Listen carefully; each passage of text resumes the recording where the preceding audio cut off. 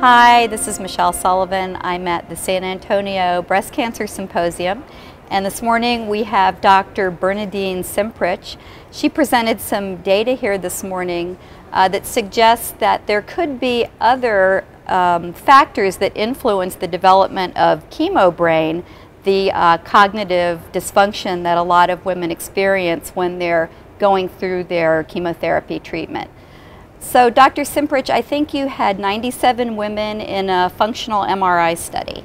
That's correct. And there were three groups of women that we actually tested. The first group were women who were receiving adjuvant chemotherapy for breast cancer, and then two comparison groups. A group of women uh, being treated with local radiotherapy but mm -hmm. no chemotherapy, and then a uh, control group, uh, age-matched women uh, who did not have breast cancer, but who had a negative screening mammogram. Mm -hmm. we tested these women before the start of any adjuvant treatment, so it would be before chemotherapy or before radiation therapy, and then again at an interval of about five months which coincided with the period of about one month after the completion of chemotherapy. Mm -hmm. But before women started any subsequent radiation therapy, which they might, and before they started endocrine therapy, which they might. Mm -hmm. During the memory task, you saw some decreased activation in an area of the brain that's exquisitely involved in working memory.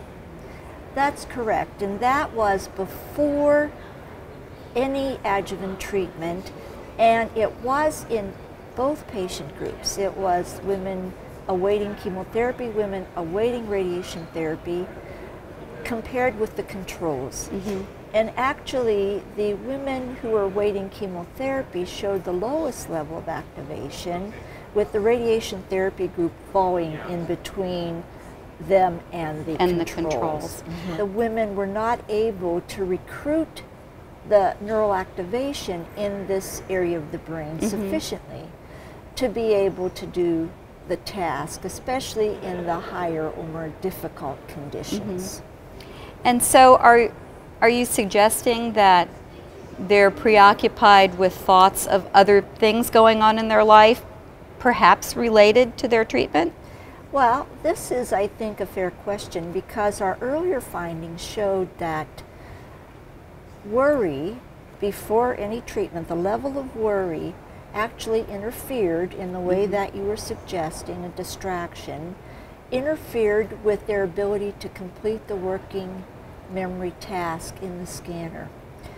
And this was across patient groups. It was actually across all of our groups. Mm -hmm. The higher the level of worry, the more it interfered right. with the task in the scanner.